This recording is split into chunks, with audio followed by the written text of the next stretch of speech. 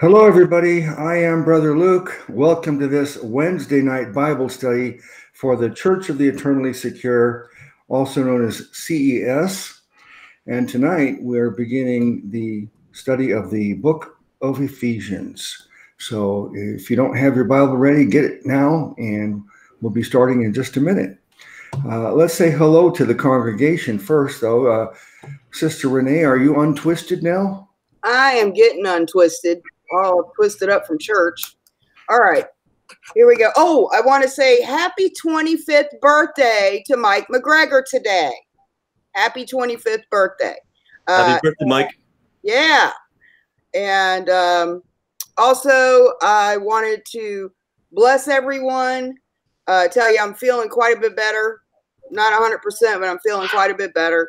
And I am happy to be back and excited to be starting this book. All right. All right then. How about you, brother Cripps? Uh, I'm I'm great. Looking forward to the study tonight, and I'll say hello to everyone in the chat. And I hope everyone had a good good week since last Monday and a good weekend. Uh, for everyone's hanging in there with all the craziness in the world, and uh, can't get wait can't wait to see what uh, what Paul has to say to the church in Ephesians. All right. Thank you. And uh, Brother Ben. Yes, I'm also looking to uh, looking forward to the studying starting a new book. Um, I think this is about as long as uh, Galatians. Both are pretty short, I believe. Um, but I'm looking forward to uh, starting a new new uh, epistle. Good to be here. Okay, amen to that. Well, uh, I'm very happy to introduce to everybody tonight uh, Sister Justine, who's in the chat room. Um, I'm so happy you're here, Justine. Um, for those of you who don't know who Justine is, uh, she and I go way back. Um, we were co workers. Uh, uh, we were both dealers. We dealt blackjack together at the Treasure Island Casino in Las Vegas. Uh, and then I went into the management, and I was a supervisor of uh, working with Justine. But um, somehow, Justine and I started talking about the Bible and Jesus, and I d- decided that I should have a Bible study at my house. So Justine and a handful of others from the workplace started coming to my home and doing the Bible studies. And eventually that grew into home congregation, home church for about seven years. Um, that was a wonderful, wonderful time. So uh, that's Justine. And uh, so I welcome, sister. Uh, all right, let's get uh, into the scriptures. Uh, we are here, uh, KJV firstists. So we'll read the KJV first, and then I'll get your your thoughts on it, Sister Renee. Ephesians uh, chapter 1, verse 1. Paul, an apostle of Jesus Christ by the will of God, to the saints which are at Ephesus, and to the faithful in Christ Jesus, grace be to you and peace from God our Father and from the Lord Jesus Christ. Sister well, I love this opening these are clearly children of God he is addressing. In addition, it's another uh, place in which Paul's apostleship is confirmed based on God choosing him himself. We saw several places where he didn't receive the revelation of the gospel from men, but from Jesus Christ himself. Mm. Here he confirms that he is an apostle of Jesus Christ by the will of God. So I'm sick of these people calling him a false apostle. The Muslims have the same thing. They call Paul a false apostle and a liar because he claimed that Jesus' death, burial, and resurrection was in the Old Testament. And it is. It is. Besides Isaiah 53, it says, the and Messiah, Messiah shall be cut off, but not for himself. Daniel, Nehemiah, Zechariah, they all talk about that. So um, they love to call Paul a false apostle. People that hate the gospel of grace hate Paul. They try to get rid of him. They try to compare Jesus's words to Paul and claim that they are different when actually Jesus himself is speaking through Paul because he's inspired by the Holy Spirit. You either accept the Bible is inspired by God or you do not. You don't get to pick and choose it. So we see apostle of Jesus Christ by the will of God to the saints which are at Ephesus and to the faithful in Christ Jesus. Grace be to you and peace from God our Father. They are children of God and from the Lord Jesus Christ. Uh, again, Jesus is the Lord. You don't make him the Lord. Your obedience doesn't make him more or less of the Lord. He is the Lord, divine, God manifest in the flesh, name above all names. So I love this opening. It confirms his apostleship. It confirms he's speaking to saved, uh, sealed believers in Ephesus. I also want to remind you the climate in first century Ephesus. Ephesus was famous for the goddess Diana. Their big temple had a statue, a massive statue of Diana. Uh, and there was a lot of temple prostitution, fertility, goddess worship. And a lot of that stuff was trying to come into the early church as well. Uh, Paul rebukes them for these things. But I just wanted to let you know that the climate here in Ephesus was very hostile towards what Paul was preaching. Paul preached against idolatry. This is where they imprisoned Paul uh, because the men who were metal workers were losing money because people stopped buying idols for their home. See, there used to be a giant idol in the temple, and then you would bring a household idol where you would offer it food, and when you ate, you would uh, pledge your food to the idol and leave an offering for it. That's where he talks about things offered to idols, sacrificed to idols. This is what they did. And so, because they were losing money, they lied about Paul and got him in prison. So that is what's going on in the climate of first century Ephesus. I just want you to know what he's up against and to have a context of what's happening. All right, thank you. Appreciate you doing that because I uh, I failed to uh, I ask us to do an introduction to the book. Uh, normally, we when we start a new book, we take a few minutes at least to give like an introduction. So uh, let me ask you, Brother Cripps, to give us your introduction uh, thoughts on the book and then respond to the first two verses, okay? Uh, well, I can't do any better than Renee just did. She she really laid the groundwork for it. But um, I, all I can do is agree. I mean, it's just an introductory. Uh, when I say just, like I said, I, I I can't think of a way to fill it in more than Renee just did. Um, but yeah, so uh, he's he definitely declares he's an apostle. I agree with that. He states it. Paul, an apostle of Jesus Christ, he states it. Uh, of course, we have more proof than that with epistles that we've read, where he has to keep coming back and proving over and over and, over, and, and going back to it, saying, "Hey, this is why I'm a this is why I'm a disciple. I, you know, the, the gospel I didn't get from man; I got from straight from Jesus." Um, and uh, uh, regaling us with uh, where he studied, how long he stayed in certain places, things like that. Um, uh, that unfortunately, I don't have much else to add to that. It's just uh, introductory. Okay, all right, thank you. Uh, well, of course, we know this is uh, the Apostle Paul's book. One of another one of the Pauline epistles. An epistle is a letter. Uh, so Paul wrote a letter and sent it to this church uh, in Ephesus. Uh, and Paul was in prison when he wrote this. This is one of what they call the p- prison epistles. Um, it's uh, pretty much agreed upon that this was written somewhere between 64 and 67 uh, AD. Um, it, um, you know, we talk about our, all of our favorite epistles, but there's a lot of good arguments that this is one of the greatest, most important theological um, books of the Bible. Um, there are some main things that uh, uh, there's only six chapters, but uh, they say that the first three chapters are about uh, uh, being the believers, uh, being in Christ, and also being in heaven. And then the next three chapters, four, four, five, and six, are about the believer's life. So it would be uh, our discipleship or, our, our, walk as a Christian. Uh, and, and then the beginning, it's uh, what is Christianity? Um, and and uh, how do we stand? We are in Christ and we're also already in heaven. Um, so these are some of the main uh, things that we're going to be uh, covering as we go forward. Also, there's a distinction between the Jews and the Gentiles, and that there's a, uh, a wall of partition that will have to come down that uh, we learn about in this book. But the opening remarks, um, let me just read it in the um, Amplified and see what how it phrases it, verses uh, one and two.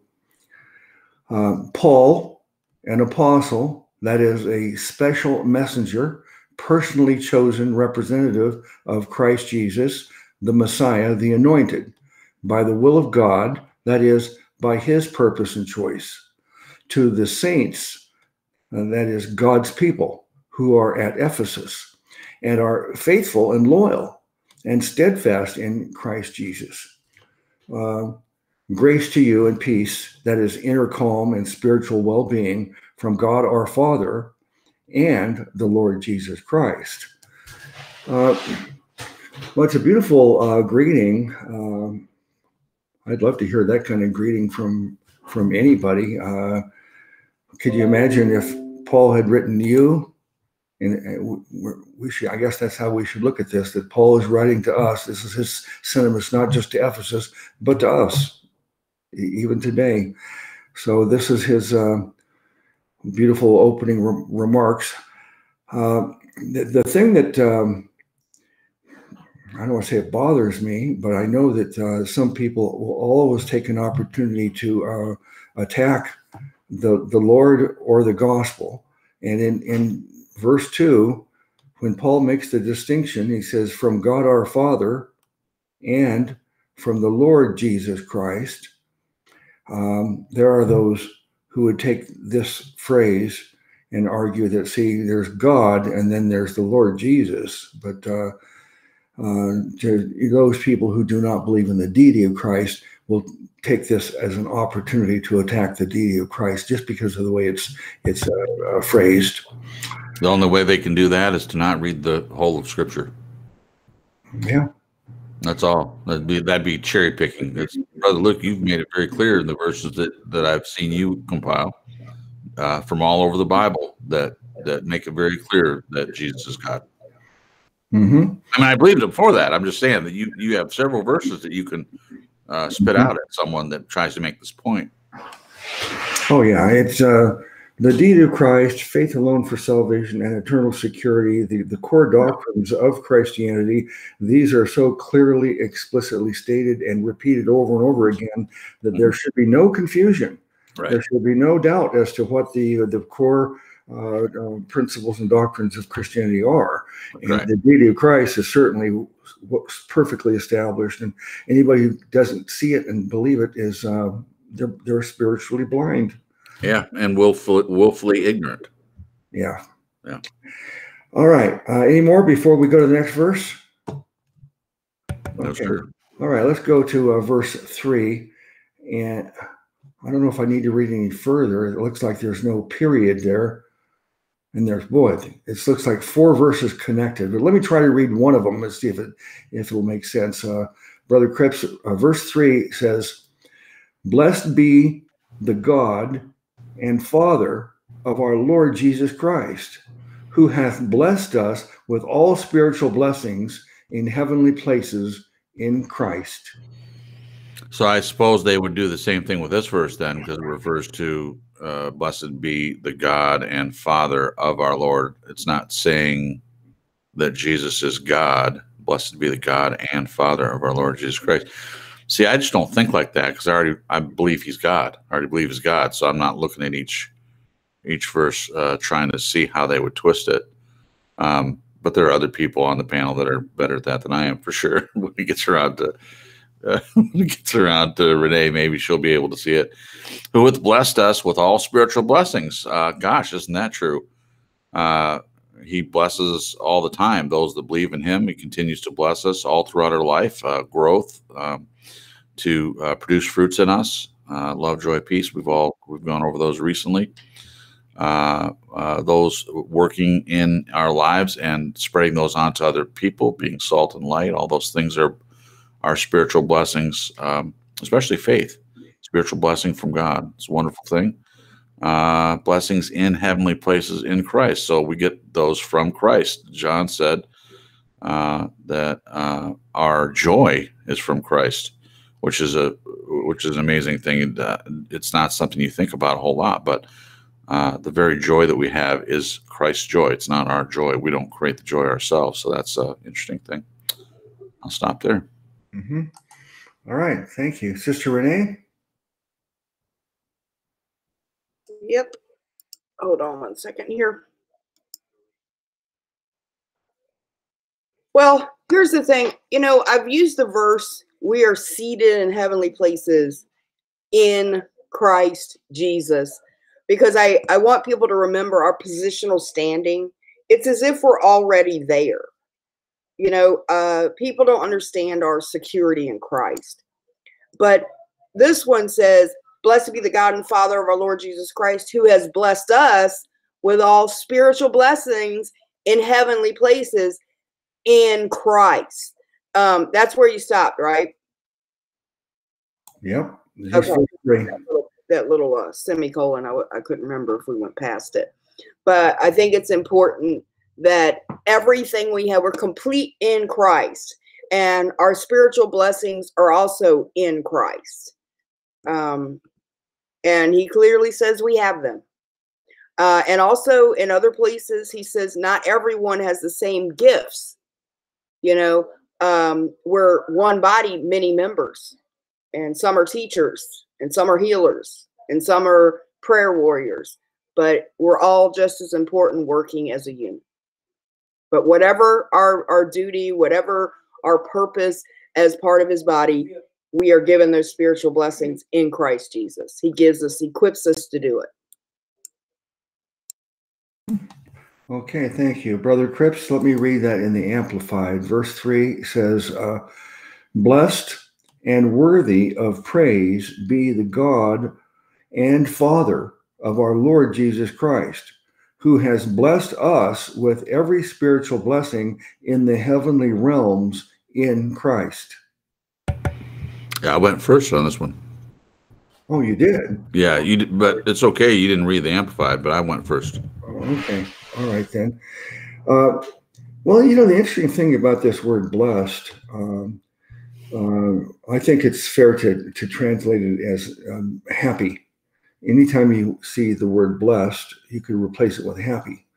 And, so in this case, it's talking about God being happy. Blessed be the God. So God is blessed. Could you imagine God? What does God need? Anything? I mean, come on. Is there anything that God needs to be happy? Uh, and yet, he can be happier, apparently, or less happy because, as in this case, he's really happy about something. Uh, blessed be the God uh, and Father of our Lord Jesus Christ. And then who hath blessed us? So could it be that God is happy that he is going to be able to make us happy by blessing us or make uh, who had made us happy with all spiritual blessings uh, in heavenly places.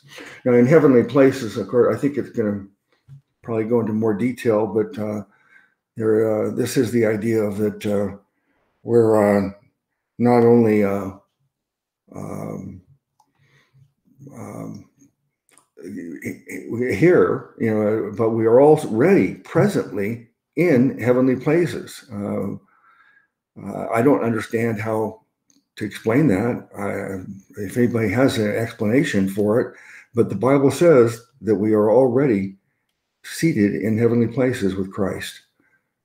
You got an answer for me on that one, Renee or Cripps? My answer would uh, stretch everyone's brains to the limit. I I believe God is outside of time, and I believe that um, in in one way we are already there. I really do. I believe that the uh, the apostles that got a chance to go up and see it they're not seeing a video screen they're seeing it actually take place god put them in that time to be able to see it Uh, for instance, uh, John, when he's seeing all the the end. For us, the end hasn't taken place yet. I mean, it, it, we have yet for that to happen in this realm. But I believe when the angel took John up to see these things, get on up here, you know, and, and see these things. It took him up there to see it. When he saw it, it was when it was actually taking place. Uh, it, it doesn't say that. So this is just my opinion. Um, but it also doesn't say that he saw it in a dream or um, like on some screen somewhere. Uh, he may have even seen himself seated there. Uh, doesn't say that either, but it's possible. So when Paul went up, I think the same thing. I think he was seeing uh, future future stuff. It's my opinion. All right, thanks. Renee, do you have any thoughts on that? Repeat your question. I want to make sure I answer this right. Well, you know, we are in Christ right now, uh, and the Bible says we're already seated in heavenly places, right? Uh huh. And, and Bible says that we we can't we can't help but sin, and the Right. Bible says it's impossible for us to sin. Right. Um, so maybe you could elaborate on those uh, how that all that's possible. Yeah. Uh, well, the flesh is not born of God. Flesh and blood does not inherit the kingdom. Uh, we're supposed to uh, acknowledge that it already died. So our the old Renee, she's dead. This body is dead, and that's how we're supposed to reckon ourselves. And alive unto Christ to live in righteousness. That is our identity in Him because the Spirit is born of God, and we are seated in heavenly places in Christ Jesus because we are in him. Just like we we we're the righteousness of God in Christ. It's all because we're in Christ. It's not uh us at all. The Christ the Holy Spirit lives in us and we are in him. So I think it's a it's like a spiritual mystery you know because baptism represents that I died I was buried and I rose again with Christ. So I was in Christ on the cross. All my sin was in Christ on the cross, and He carried that. And uh, by the way, I was talking to Brooke earlier, and I said it's ridiculous these people talk about He only covers your sins till you believe. Now you're really well, you still sin. So what? Where's the blood? The Bible tells us He died once for all, and we're perfected forever. And so, two thousand years ago, Renee's sins, all of them were in Christ they were all on Jesus. All of them. He didn't say, I'm going to stop covering her sins when she hits 50. It's silliness.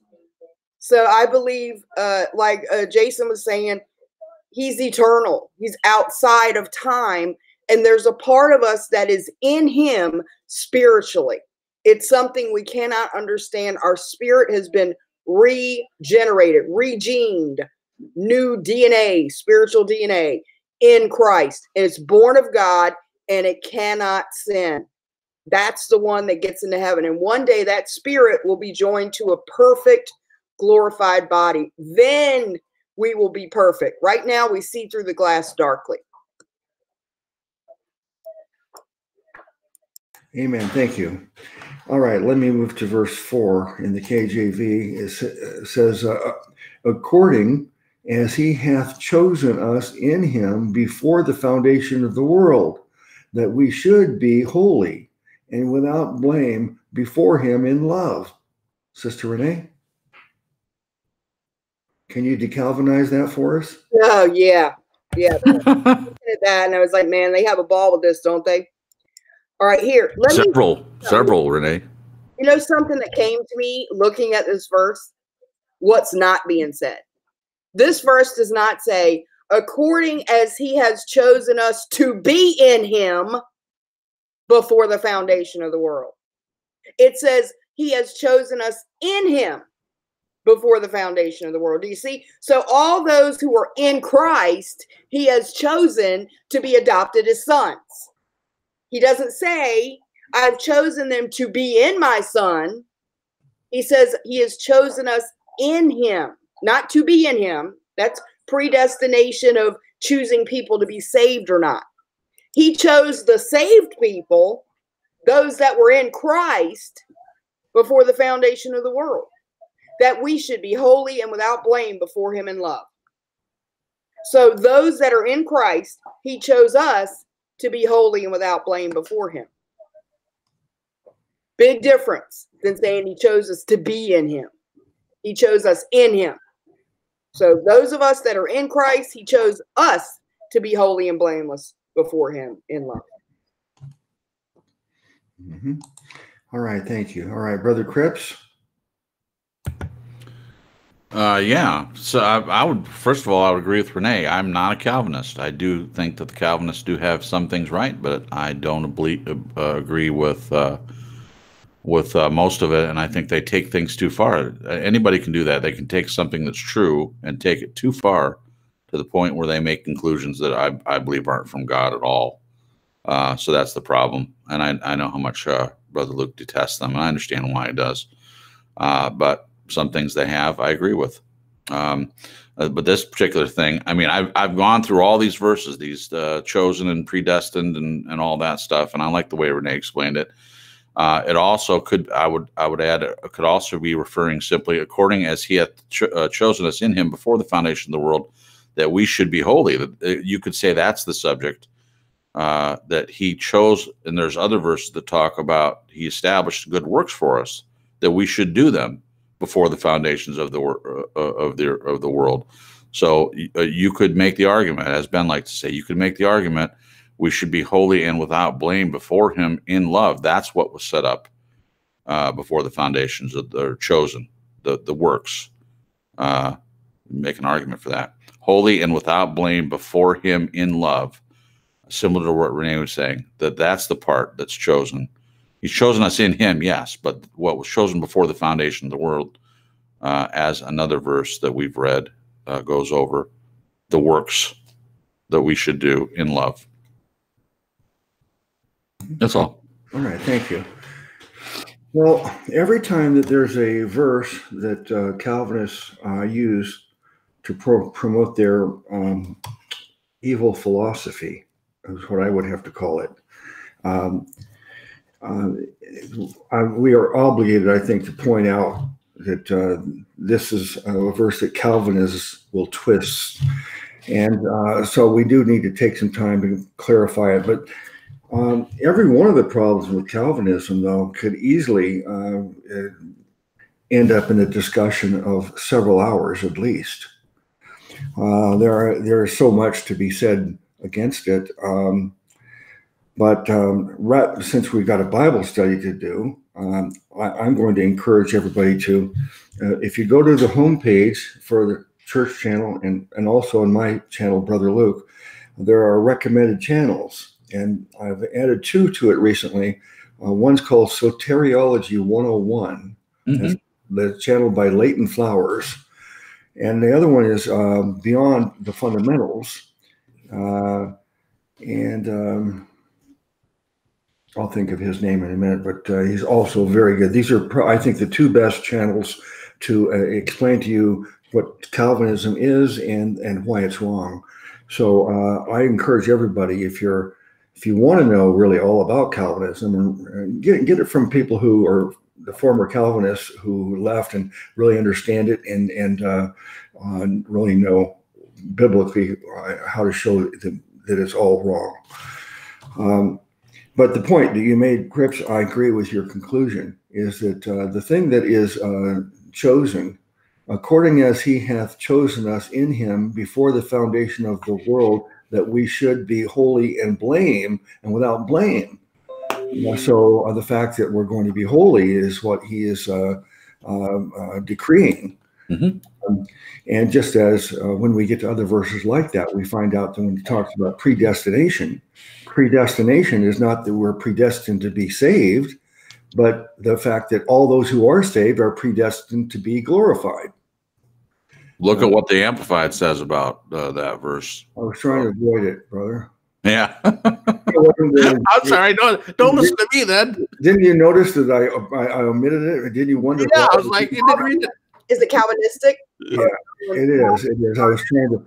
Unfortunately, as as, as helpful as the uh, Amplified can be, uh, you know, there are cases where we find out some either works. Uh, heresy or a, um, Uh, in this case, there's a Calvinist uh, interpretation. So I guess I'll read it now. It says, uh, um, just as in his love he chose us in Christ, actually selected us for himself as his own before the foundation of the world, uh, uh, so that we would be holy, that is, consecrated, set apart for him, purpose driven, and blameless in his sight. Um, so the second part of that is what he's uh, choosing is for and and uh, you know decreeing. It's not the, the first part, but right. okay. All right. Any more? We go to the next verse. Well, sure. It's not right. The amplified isn't right all the time, and they're they're. It seems like they're choosing to take a a Calvinistic view of this particular verse, and uh, that it's troublesome because there's a couple in this passage uh, a couple in Ephesians, actually. Um, you know, I hate that too, Jason. Uh, ben made a, a neat way of explaining it. Remember, I said, look, it doesn't say chosen us to be in him. Right. chosen us in him. And Ben made a good point in the chat. He said, Christ is the chosen one, and we're chosen in him. So it it makes better sense that way. Jesus is the lamb slain from the foundation of the world. Mm-hmm. So we're chosen in him from the foundation because he's the chosen one. Mm-hmm. But uh, I am very disappointed that they took a Calvinistic approach to this. Yeah. We're, like we're chosen to be in him. And yeah, they, they come right out and state it. Yeah. Yeah. So that would mean that Jesus chose people. It means that the Calvinist would be, if, if that verse is correct, the way that they've interpreted it, it means that Jesus chooses, picks and chooses yep. who believes and who doesn't. Yep. And that that means that there are people out there that are blameless because God just picked and choose. He yep. didn't choose them.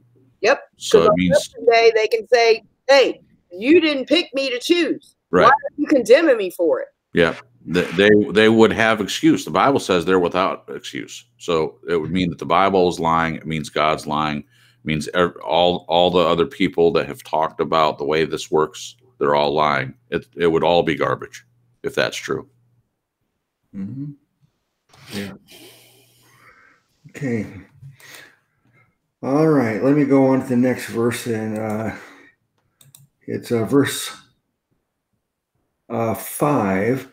Um, whose turn is to go first this time? Renee? It's me. Cripps. Okay. Having predestinated us unto the adoption of children by Jesus Christ to himself, according to the good pleasure of his will. I'll finish the sentence. Okay. To the praise of the glory of his grace, wherein he hath made us accepted in the beloved. So five and six. Okay, so now I don't interpret this as a Calvinist would. I would say having predestined us into the adoption, it means the whole process of adoption as children was established through Christ Himself, according to the good pleasure of His will. Not that He's predestined all His children into adoption, but the whole process was thought of before. I mean, there are many verses that talk about these things being planned long before that this was not a second thought of God. God didn't look at the way men were developing in the earth say, "Oh, I need to provide them a Messiah." Oh yeah, I forgot. No, this this is this has all been planned. So I believe in this verse. Paul is saying, having predestinated uh, into the adoption, meaning this was this was something he had already planned, uh, and Jesus uh, Jesus Christ to Himself according to the good pleasure of His will. And then verse six, to the praise and glory of His grace, wherein we uh, have made us accepted in the beloved. Now he goes on about that in uh, in uh, Romans, one of my favorite uh, chapters. I've said many times, uh, chapter five. Um, we stand in His grace, uh, wherein He hath made us accepted in, in the beloved. So He's He's done this through His grace, and we have that through faith in Jesus Christ. So that that's the that's the way we get there. That's a mechanism by which we get there, but it, it's it's been set up a long time ago for us. That's a great explanation. Uh, that is a great explanation of that verse. What was predestinated is the process of the adoption of humans. Uh, the way we are accepted is because we're in the beloved. And so the way God predestined adoption of human beings as his children Mhm. was from the foundation of the world. He knew those in Christ would be adopted as sons. Amen. So, uh, I like how you said that um, having predestinated us unto the adoption of children by Jesus Christ to himself. So, again, I believe that uh, what you said was correct. That what was predestinated was the adoption of children by Jesus Christ to himself, not who would be adopted, Right. but the adoption of children.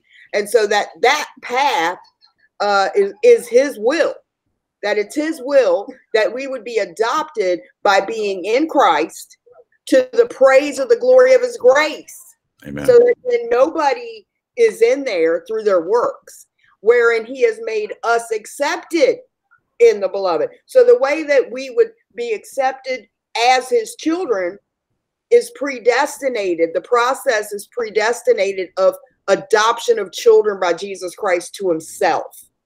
That's the I, I like how you put that. It's the actual adoption process and what makes us accepted that was predestinated Amen. process of it. Uh, so, uh, because that's how His grace gets the glory. Yeah. That's why it says, to the praise of the glory of His grace, wherein He has made us accepted in the beloved. Yeah, and the uh, to add to that, the it would still be true that God gets glory if He did choose, but then there's some other complications, as we mentioned before, which was people would have an excuse if, if they could throw their hands up, say, "Well, I didn't get chosen, I I wasn't predestinated. What am I supposed to do? No matter what I believe or or what I do, nothing's going to work." So they have an excuse. So I, I think it's a it's a clear way to look at it, and you can do that with every election verse. And, and one more thing, doesn't it seem like if it was true that God chose us, that it would be more clear? Don't you think that someone in Scripture would say, "God, look, God chose you. You don't have any. You don't have any choice in the matter. You have no, no free will, nothing. He He picks and chooses who He wants to." And I know there's some verses that that people kind of take out of context to to make that point. But if this was true that God chose you, I, I feel like it would be made clear in Scripture. It, it, it wouldn't be obscure. You, you know what, Jason? The bottom line is this they like to say unconditional election. Yet everyone deep down thinks there's something special or good in them that made God choose them. Amen. Especially Calvin. One of them. Every one of them thinks they're elect. They can say unconditional all they want to.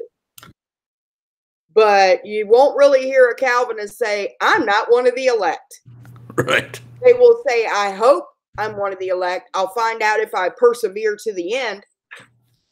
But every one of them thinks that they are elect because there's something good in them, really. They Right. say they say that's not true, but you can see it. You can see it. Yeah. I do know a couple of what I would consider good Calvinists that uh, that they they believe the Calvinist uh, stuff, but uh, you know that they aren't as haughty as other ones that I've met. But that doesn't mean that they have the right doctrine, though. Still, they're they're they don't focus so much on themselves, uh, just just the tenets, the tulip or whatever. I have a real problem with limited atonement, though. Okay. Um, the this is my shirt tonight. It's just very well. I want you to know about. It. Can you can you see it? Believer. Believer. Okay, and it's relevant because um, there is an order that happens. Uh, uh, that uh, if you understand this, then uh, you will not um, fall into the trap of, of Calvinism. Uh, the, the order is that God graciously provides salvation, eternal life for us. We believe, when we believe, then we um, get regenerated. Our uh, spirit is brought to life. Uh, I, I believe this is the first resurrection, the resurrection of our spirit. Our spirit is born again uh, from above. Um, uh, but believing precedes regeneration. We believe, and because we believe, the Spirit indwells, uh, baptizes us, indwells us, seals us, brings our spirit to life, and, and uh, uh, the, this is the order that things happen. Uh, and then after that, of course, the process of growing and maturing and eventually getting a glorified body, these are all things that uh, were promised that were predestined. Were predestined that those people who did believe and were regenerated and now are children of God, they are destined to uh, reach this uh, point where the Lord has says, You're going to be perfect physically, spiritually, in every way uh, and, and have eternal life. Uh, but the Calvinists, they say no. Uh, you're um, you're dead spiritually, and that means a dead man can't do anything. That's how they phrase it. But um, it, it's really a, a stupid argument because if we're if a person's not born again uh, uh, as, as a Christian, uh, just your average, you know, lost person, um, nobody would argue that they're not capable of doing anything because they're dead. I mean, actually, look, their their heart's pumping, they're breathing, they're thinking, they're reasoning, they're making decisions, they're they're living lives. So they certainly are capable. They can't be dead in the sense that the Calvinists want to make us think that they're dead. That means they're incapable of understanding and believing. Um, so um, they are capable, um, but the Calvinist says no, they, they, total inability. They do not have the ability to understand and believe the gospel uh, until God uh, regenerates them. In other words, God has to impose the, whole, the Holy Spirit has to force His way into you, even though you haven't believed. The Holy Spirit forces Himself on you, brings your spirit to life, and now you're with. Now that you have a laboring spirit, now you're capable of believing. So that they they reverse it. They say regeneration precedes believing, and we say no, believing precedes regeneration. Uh, so that's important to understand that this is a major distinction between Calvinism and the rest of the world. The way that uh, and that understanding the order, as as the Bible tells us, the order of these these things will clear this up. Uh, if I might comment on that, it, it, it that's spiritual rape. That would be spiritual rape. Mm-hmm. That would be against the the will the will He gave us, and God doesn't do that. He doesn't force anyone. First of all, He doesn't force anyone to believe anything. He doesn't nope. force belief on us. Nope. Nope. We're convinced by the evidence. He he he does out of His love and grace. He presents the evidence. The evidence is there through Scripture.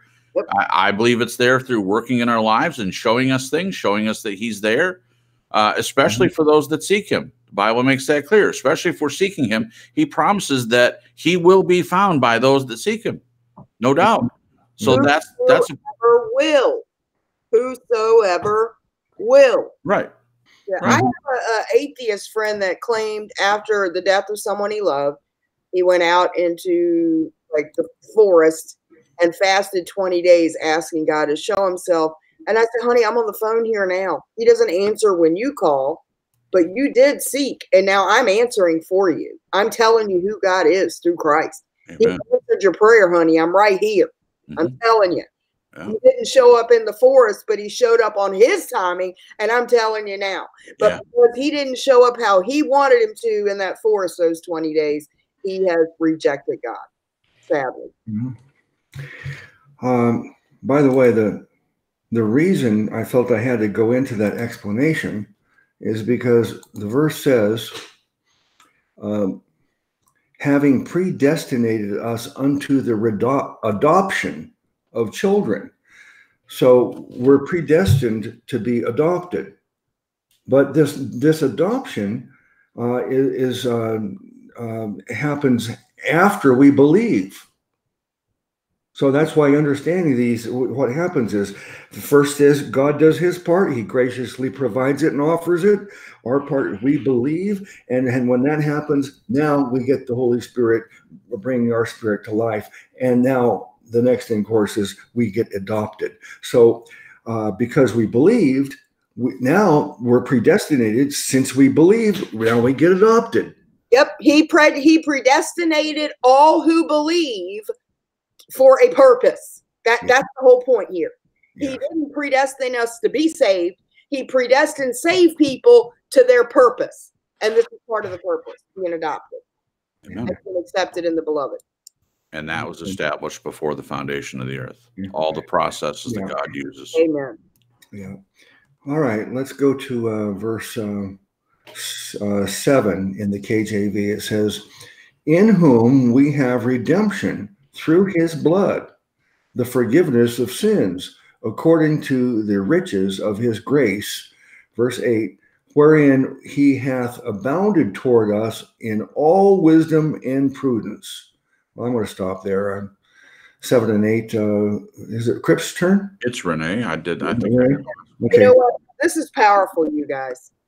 This is powerful because our redemption is according to the riches of his grace.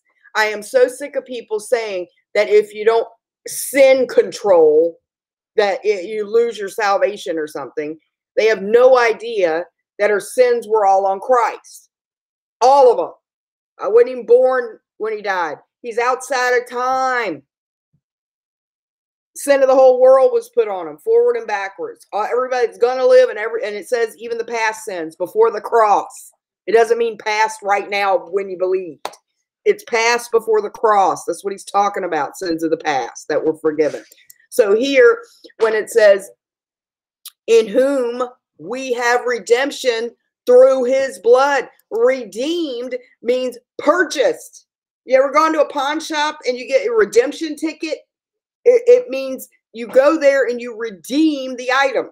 You make payments on it and then you redeem it. You, it's yours. It's purchased. So he redeemed us. If you read the story of Ruth, it's a picture of Christ being the kinsman redeemer.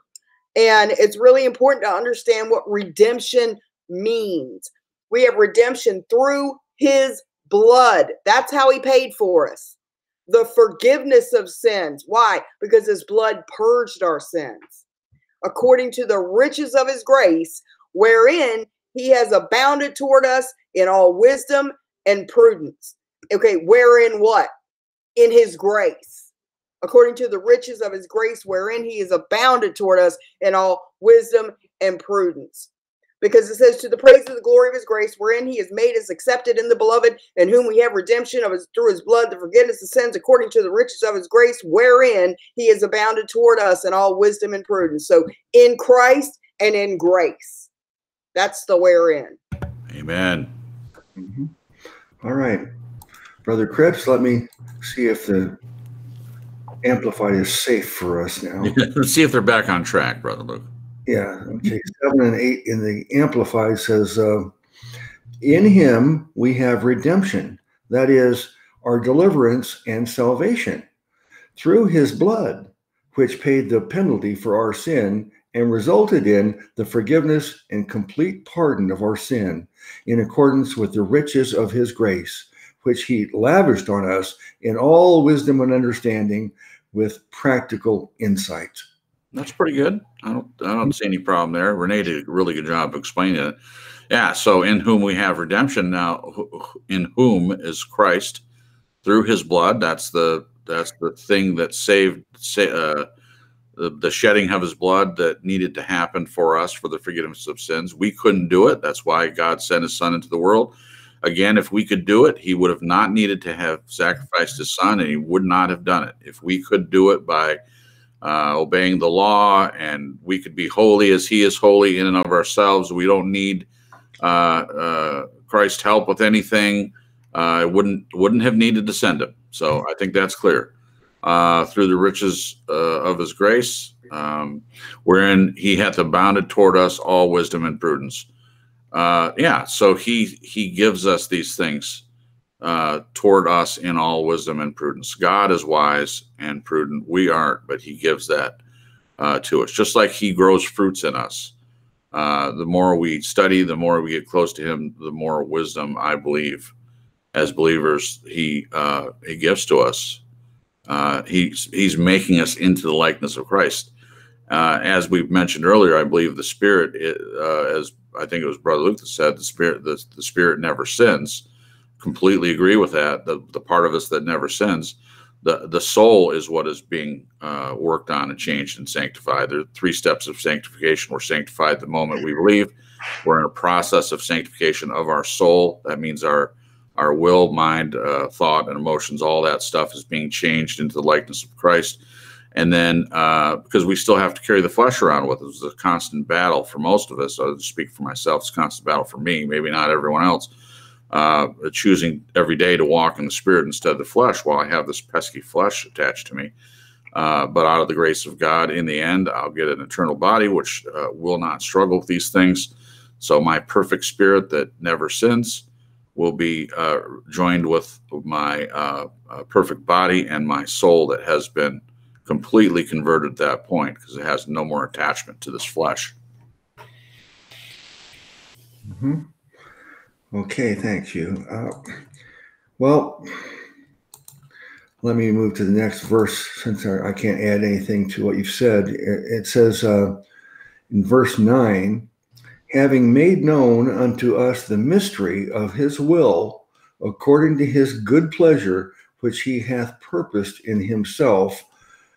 Verse 10 that in the dispensation of the fullness of times he might gather together in one all things in Christ, both which are in heaven and which are on earth, even in him.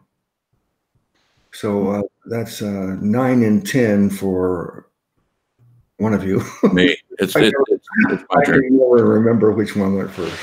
All right, all right. Verse nine, having made known unto us the mystery of his will. These are all the things that we're studying. We're we're learning the mystery of his will. All things, all things he intended to do. The the fact that before the foundation of the uh, the earth, he knew that he would send his son uh, as the Messiah. Adam sinned. Uh, through one man, all sin entered into the into the world, and through one man, Jesus, all sin was paid for, and that's the uh, part of the mystery of His will. I think is huge. I, I, I don't know if there's anyone that fully understands uh, His will.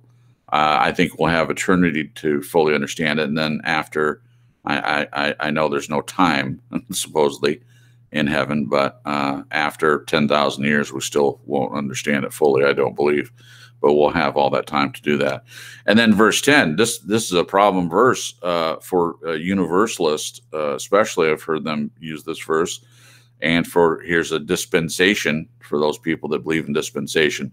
But I believe all it's saying is that in the dispensation of the fullness of time, when the when the time was right, that's the way I interpret it, that he might gather in all all things in Christ. Now this is the universalist part. All things they say that uh, that uh, God will reconcile everyone, all things to him, including in this verse, both which are in heaven, which are on earth, even in him. Uh, I am not a universalist, but uh, I have at least one uh, dear friend who, uh, in all ways, uh, believes many of the same things I do, but he believes that God will reconcile everyone, all, all the wicked and evil. They're not annihilated, they're not in eternal torment, whatever you believe as far as that's concerned uh, that they that the um, the lake of fire is a crucible for those folks. Uh, of course, don't go there. Uh, doesn't want anyone to go to the lake of fire, but the lake of fire will purge you of uh, all that uh, stuff that you had an opportunity on earth to to do and reconcile all things. They say all things. Uh, back to God. So that's a uh, maybe Renee can expound on a little bit better than I did, but that's I'll stop there.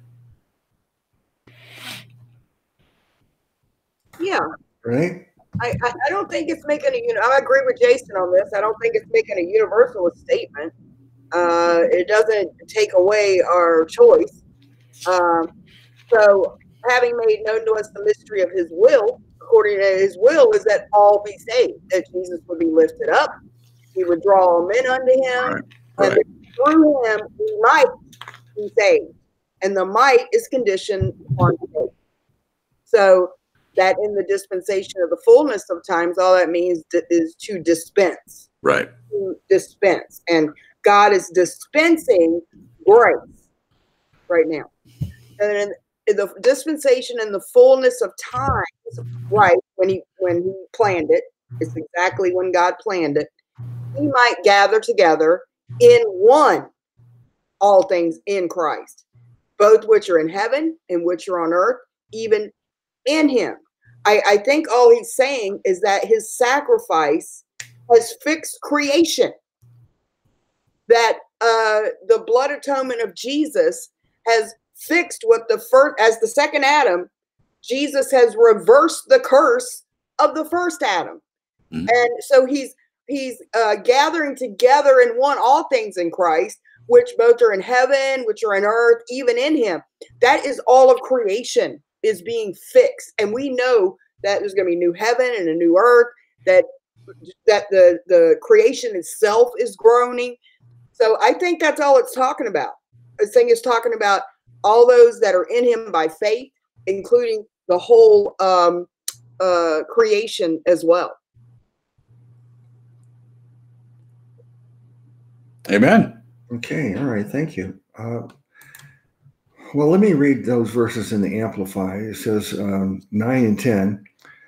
He made known to us the mystery of his will according to his good pleasure, which he purposed in Christ with regard to the fulfillment of the times, that is, the end of history, yeah. the climax of the ages, to bring all things together in Christ, both things in the heavens and things on the earth.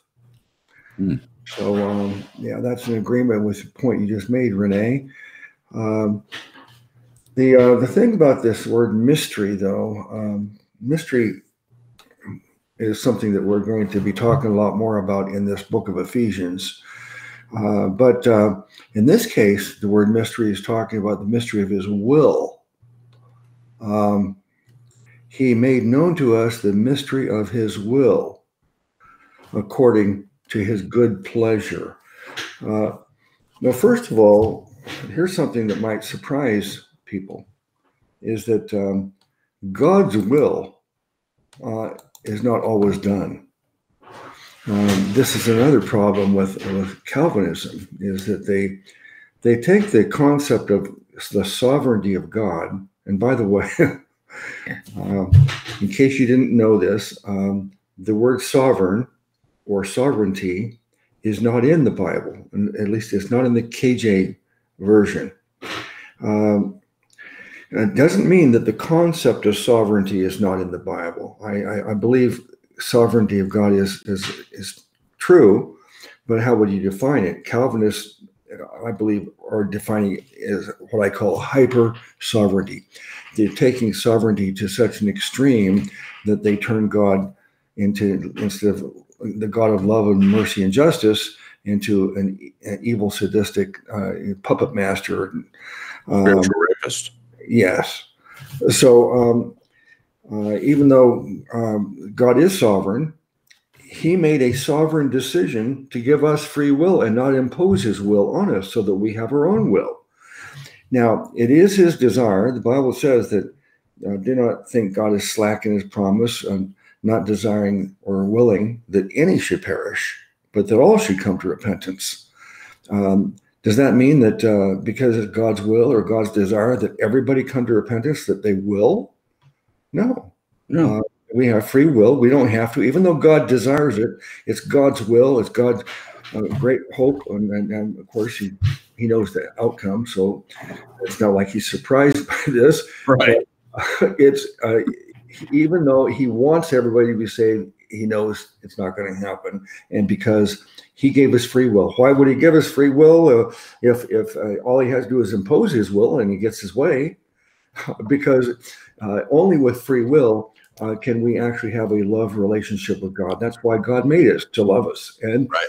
uh, and the Bible says we love Him because He first loved us. So our natural response is when we understand this great love God has for us, so much that He would die for us, and did, and yet our, our response automatically to be love Him, love Him in return, um, and and then that is real love because it was not imposed. Um, Amen. All right. All right. Anything I like, the, I like the way you put that. That's all. Okay. All right. Thank you. Yeah, that was good. Okay. Let's go to verse um, uh, 12. Um, It's Renee's turn. Yeah, well, verse verse 13 and 14, Renee, I'll read those. In whom ye also trusted. After that, ye heard the word of the truth, uh, the gospel of your salvation, in whom also after that ye believed, ye were sealed with that Holy Spirit of promise, which is the earnest. Uh, this verse, I'll read 14, which is the earnest of our inheritance until the redemption of the purchased possession unto the praise of his glory. Mm. Earlier I said there's a sequence of events. This yeah. is that tells us the sequence of these events. Renee? And this is one of my favorite quotable sections. I use it a lot. However, I think we might have missed a couple verses, didn't we? Uh, in whom we have obtained of being predestinated because of verse that we should be to the praise of his glory who first trusted in Christ. Did we say that? Yeah, we are supposed to do 11. Okay. Uh, you just, you, uh, so I'm, I'm going to go ahead and read it. I thought I did 11 when I was talking about his will. No, um, or maybe I did. Okay. It's the one above. Uh, uh, you went back up to nine, brother Luke, to explain. Oh that. yeah, I went to nine and ten. I'm sorry. Go ahead and do eleven all the way through uh, fourteen, sister. Yeah, this is important because it shows us that believing means to trust in. Mm-hmm. Believing pistios is a trust to rely upon, yes. to know something to be true and trust in it. And so, those of us who trusted in Christ, what does that mean?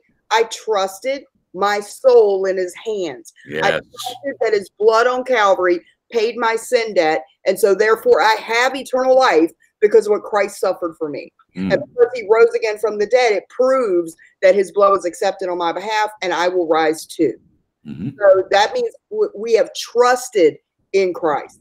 Amen. we've trusted, we have eternal life in Him, and this is His promise. Okay, that's why I come against these people that say you can lose it and you got to live a certain way to keep right.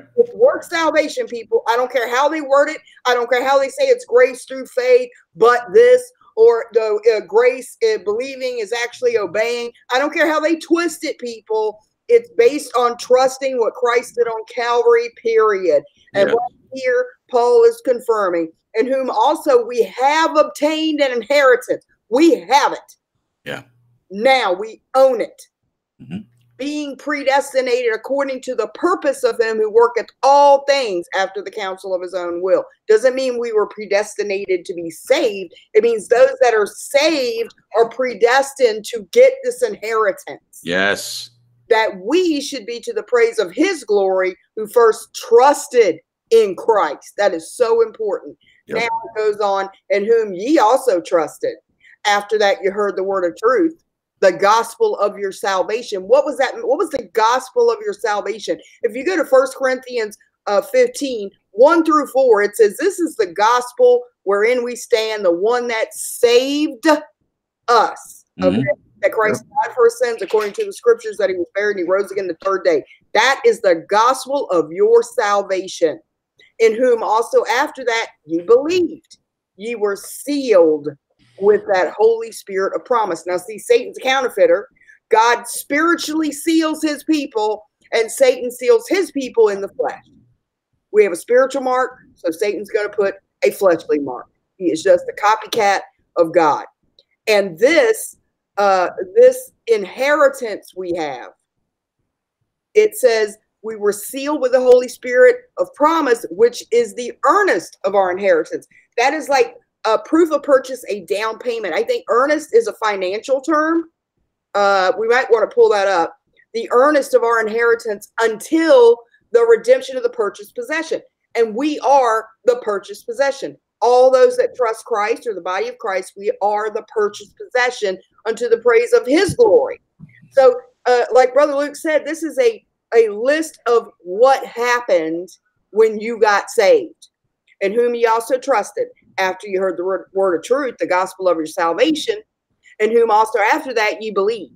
You were sealed with the Holy Spirit. So you heard the gospel, you believed it, you trusted Christ for your salvation, and you were sealed with that Holy Spirit of promise. And that Holy Spirit seal is the earnest of our inheritance until he comes and redeems us bodily. It's like a proof of purchase, a down payment of our inheritance, proving that we will have it. We possess it. We don't have it right now, but it's the Right. our inheritance that we will possess it. It's That's a wonderful section. Yeah, that's the perseverance part. You have to persevere in whatever faith it is that you can muster Oh, until the end, and then then you're then you'll know if you're you're saved or not. we have it now, man. That's what the earnest of our inheritance. Amen. Amen.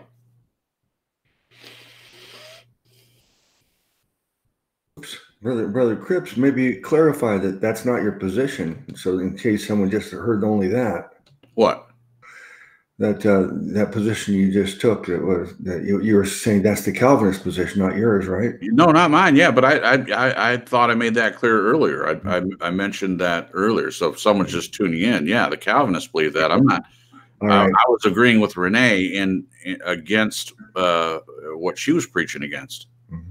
I was just thinking that in case someone didn't hear what you said earlier and only heard that, they might think that you're uh, supporting the Calvinist position because they No. didn't hear the. I, I found it. I Ah. found in the Greek what earnest means in regards to this. Earnest in regards to a payment, like we're talking about an inheritance.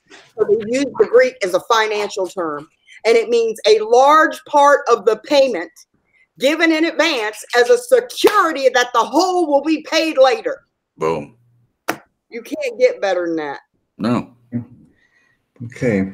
No, so that's not just to be clear. Then, since you brought it up, it's not persevere. We don't persevere in, like I said, whatever faith we we can muster, like it's ours. We we hold on to whatever faith and hope the uh, hope that in in the end we'll find out that we did enough. Because again, it's not what we did; it's what Christ did. That's what we're trusting. We're trusting in that what Christ did was enough, which I'll say more about when it comes. to Yeah. All right. So let me, uh, I'll start with verse 11 and read all that in the Amplified. It says, In him also we have received an inheritance, that is, a destiny. We were claimed by God as his own, having been predestined, that is, chosen, appointed beforehand, according to the purpose of him who works everything in agreement with the counsel and design of his will. Verse 12, so that we who were the f- first to hope in Christ, who uh, first put our confidence in him as our Lord and Savior, would exist to the praise of his glory. In him, you also, when you heard the word of truth, that is the good news of your salvation, and as a result, believed in him, were stamped with the seal of the Hmm. promised Holy Spirit, the one promised by Christ, as owned and protected by God. Hmm. So here in this verse, you have the sequence of this. Is it says, "In Him you also who heard the word of truth." So first we hear the, the gospel, Yeah. Uh, and, and then it says, as a result of hearing it, we believed it. Mhm. And then, and then when we believed it, we were stamped with the seal of promise, the Holy Spirit. Mhm. So this, I don't know why Calvinists can't read this verse here and not realize that their error, uh, that uh, they're regenerated then believe, because this says that you hear, you believe, then you're regenerated. Um, I, I think I, I think it's a great question, and I think that it's because Satan has twisted the minds of the, those that don't believe, and they don't believe. Ultimately, they don't believe what Christ did was enough. They believe that that that they add something to it, even though they're chosen. They're chosen to uh, do do good works and and persevere in their faith. They've got to hold on to it. They got to run the race and finish, show themselves approved by by what they do. I, I think so. It's because their their mind is twisted. Uh, their uh, I, I call it the the trap for intellectual uh, uh, quote unquote Christians. I mean, Yeah. you, you have to really really uh, dive into the stuff pretty deeply to come to some of the conclusions they do. And uh, I, I think it's in, inaccurate. The conclusions they've come to is inaccurate. They take some things this is why it's so dangerous. Well, the, the, and maybe you don't agree with this, brother Luke. I think that you would. The reason why Calvinism is so dangerous is because they're close to the truth in a lot of areas, but the conclusions they draw from it are uh, heresy.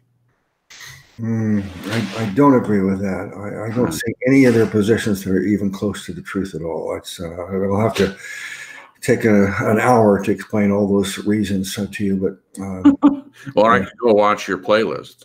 Yeah, that would be a good thing to do. or better than me are those two uh, those two uh, channels I recommended because look, I'm not an expert on refuting Calvinism. I know more than most people listening right now, but I don't know as much as Leighton Flowers or uh, Kevin Kevin Thompson. Yeah, right. no, uh, is Kevin or Keith? Keith, Keith or Kevin Thompson. Uh, these people, and and and there are plenty of others who are that is their focal point of their ministry. They know every little verse and every every problem with Calvinism, and uh, they're much better qualified to to do it than me. Um, but I, to answer your question, no, I don't see them close to the truth on any of the six points. And there's not five points to Calvinism; there are six. But on all six of the points, uh, they're completely wrong, not even close. Mm. But I want to talk about this earnest in verse 14 says, which is the earnest of our inheritance until the redemption of the pur- purchased possession.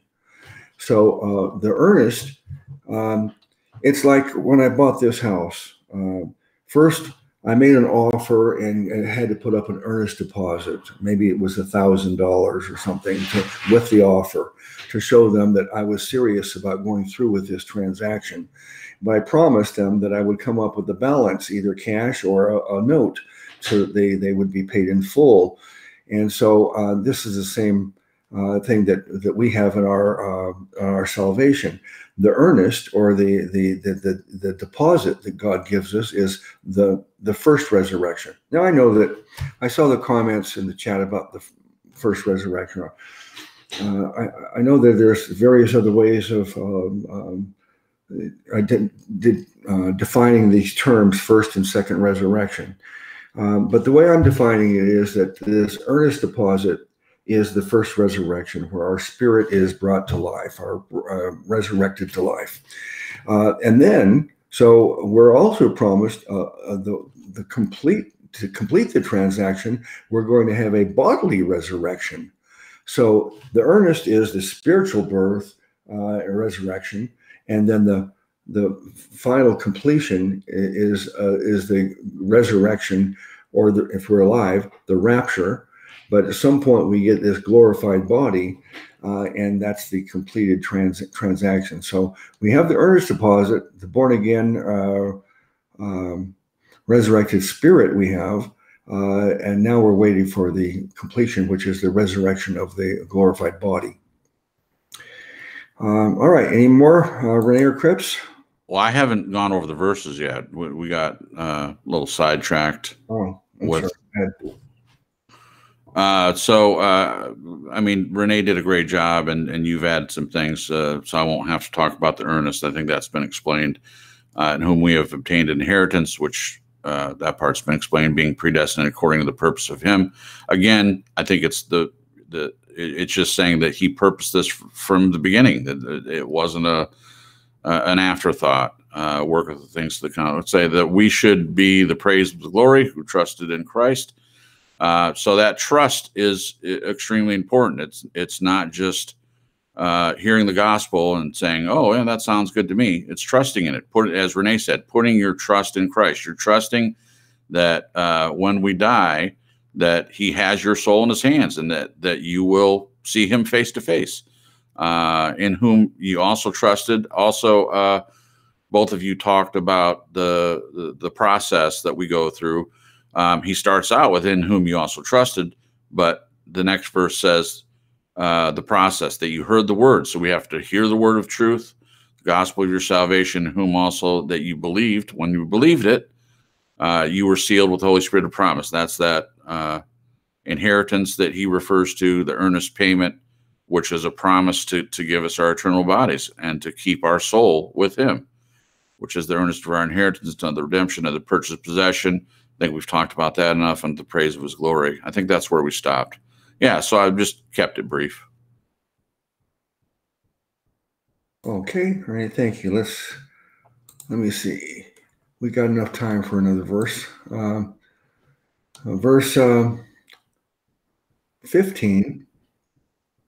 Uh, Wherefore I also, after I heard of your faith in the Lord Jesus and love uh, unto all the saints, cease not to give thanks for you, making mention of you in my prayers that the God of our Lord Jesus Christ, the Father of glory, may give unto you the spirit of wisdom and revelation in the knowledge of him.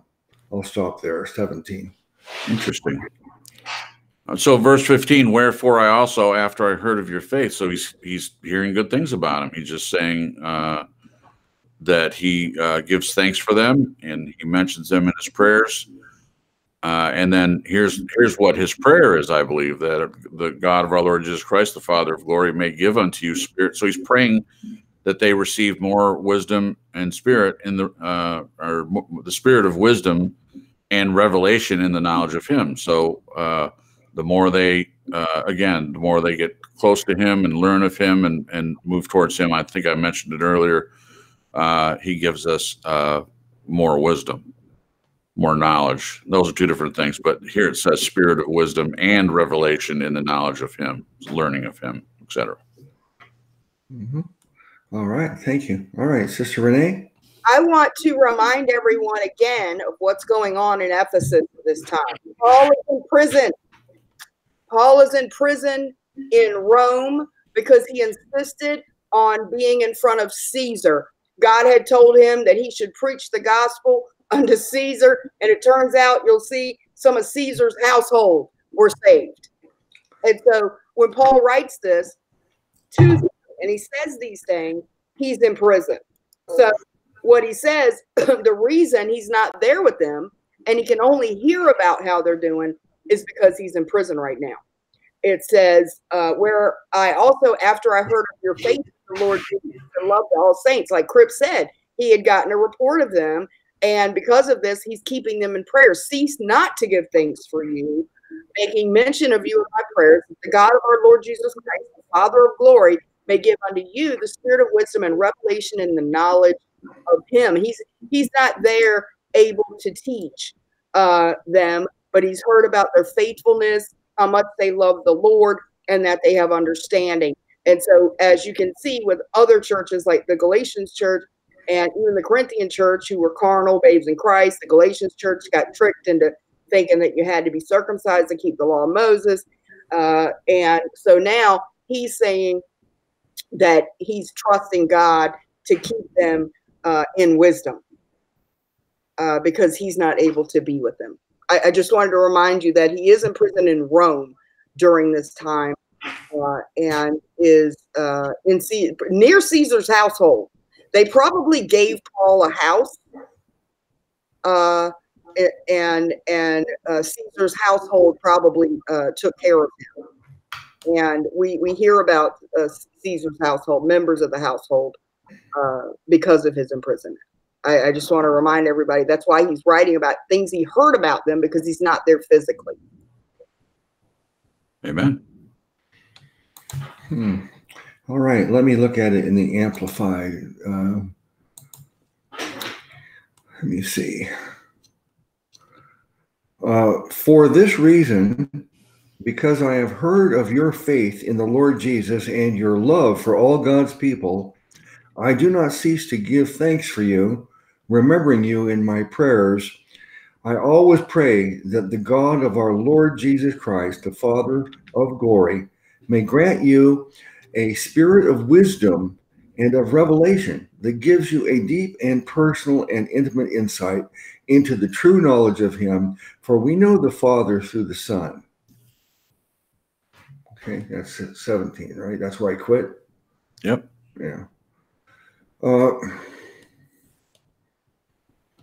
I don't know what else I can say. It's just really, it's not any deep theology. It's just a wonderful sentiment he's expressing but I, I, guess the important thing to say here is that we could have said this uh, in the very beginning in the introduction. That uh, I think someone did mention it that, that this is a letter to believers, but I, I do think that uh, uh, we should be able to acknowledge that um, all, all, the epistles, um, everything is written to to believers. Uh, um, can you think of an exception? Any any book that was written that was not written to a believer, an individual, or a congregation of believers?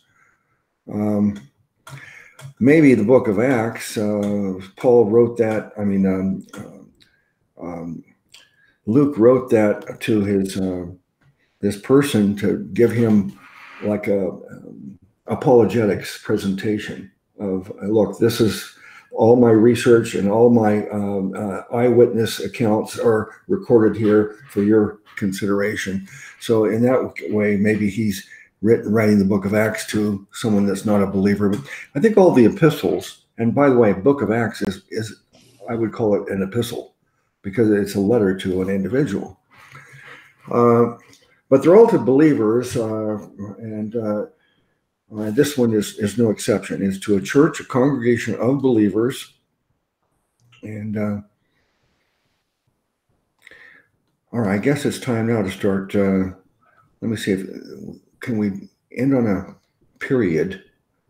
Uh, 17, 19. No. Well, gosh, Paul Paul gets like four, five, six verses without a period. Oh, It's all right to say. I mean, we ended on 17, which is, like you said, a, just a very nice thing that he's telling him. Yeah. All right. Well, let's do that then. Uh, let's um, start our, our uh, summary and closing remarks now. Uh, um, and if in the chat room, um, if you have something you want us to respond to as we're uh, finishing up, um, put it in all caps so we can uh, try to answer your point. Uh, let, us start with Brother Cripps. Uh, give me your your summary on the study tonight, brother.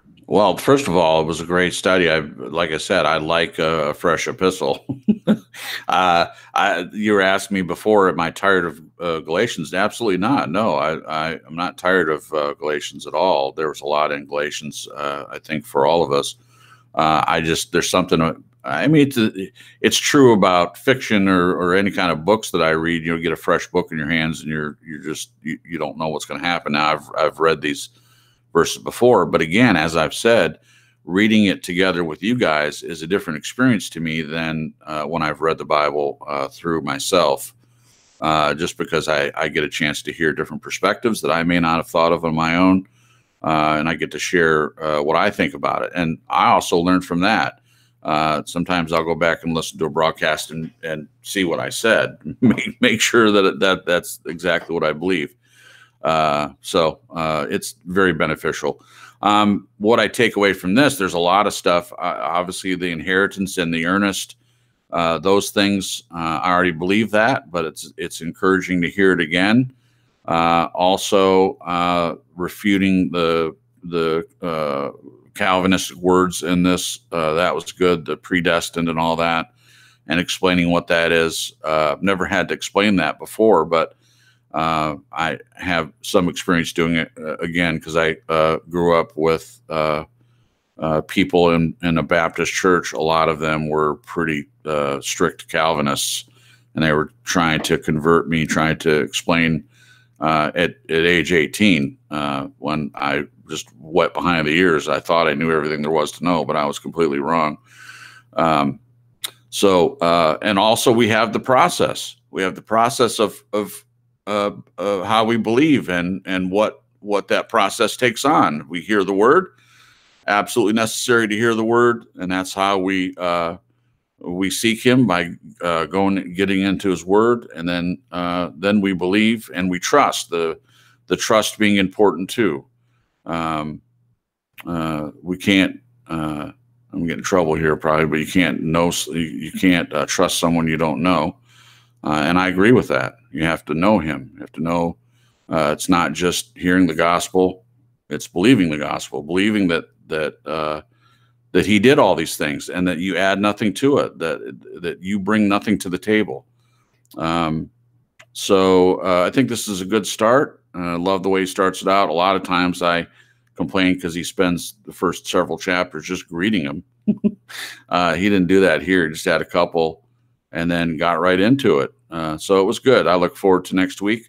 And I'll say goodnight to everyone in the chat. Hope all you guys are well. And uh, thank you guys. Appreciate it. Okay. Thank you, brother. All right, Sister Renee. Yeah, you know what? I really like how Paul always starts his letters, man, confirming their position in Christ. Even before he addresses issues with them, even in his uh, salutations, he's confirming their saints. He's confirming who they are, their identity, their promises, something, uh, before he even gets to correcting anything or addressing any issues. And this section, I'm actually after this going to do like a five minute video just to explain what earnest is uh, because it is part of our eternal security.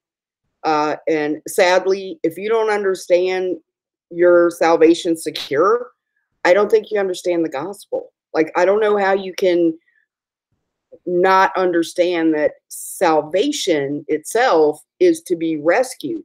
And the redemption that's in Christ Jesus is eternal redemption, and He obtained it for us. And so it's only you either trust that He did that or you don't. And, and you're either in Christ by faith or you're not. I mean, you can say, I'm He's the Lord of my life and try to clean up your life and all that. But if you haven't trusted Him, you don't have the Holy Spirit. That's how you get the Holy Spirit, people. You have trusted that Christ has paid your sin debt and gave you eternal life. And so this section is so important uh, because it it's an it's another eternal security verse. Like like you said, the earnest is the down payment and the promise that we'll get the remaining later. Amen. So um, you don't get part of an inheritance and then don't get the rest of it. You're either a child of God and have an inheritance with Christ or you don't.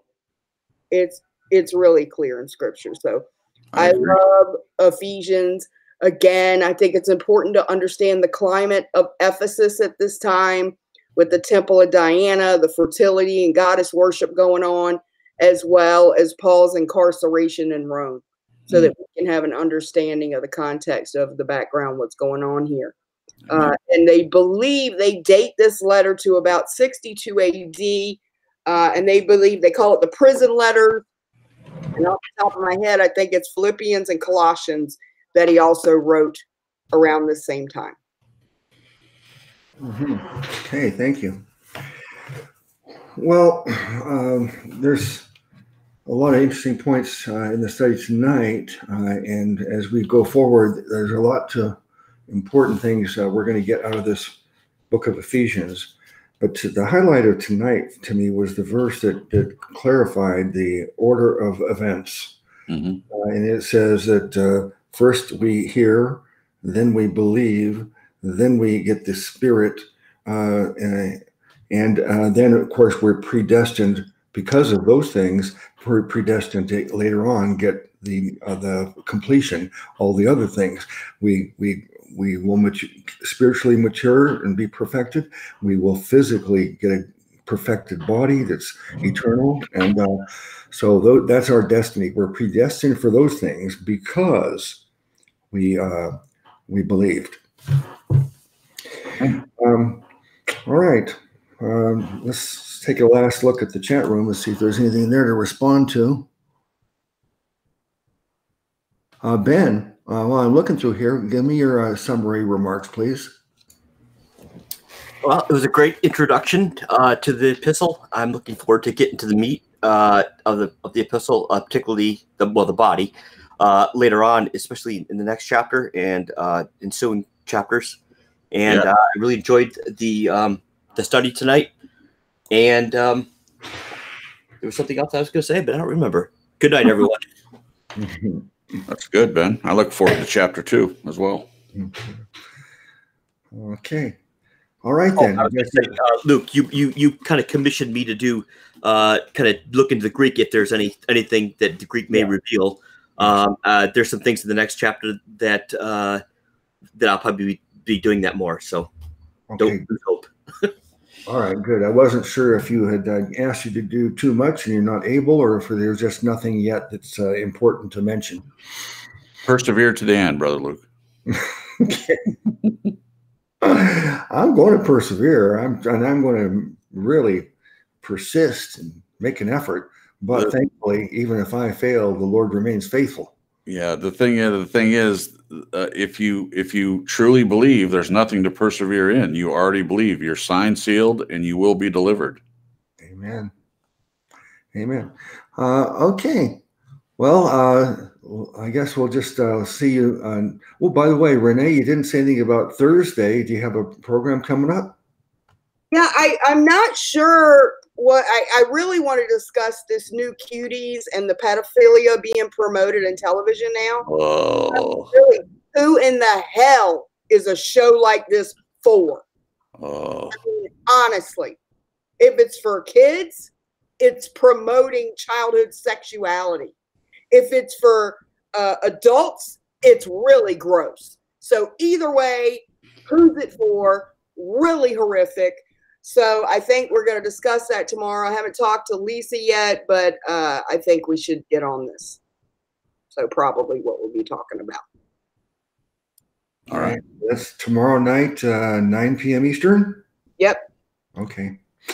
All right. And then, of course, coming up on Friday, we've got uh, on this uh, same channel, Church of the Eternally Secure, uh, 9.30 p.m. Eastern Time. We have our Fun Fellowship Friday. And uh, if you haven't already done it, uh, send us a true false statement so that we can uh, ask everybody to answer it and take a poll. Okay? All right. I enjo- enjoyed the study and the time with everybody tonight very much. Uh, thank you, everybody, for participating. Bless you all in the name of our great Savior God, Jesus.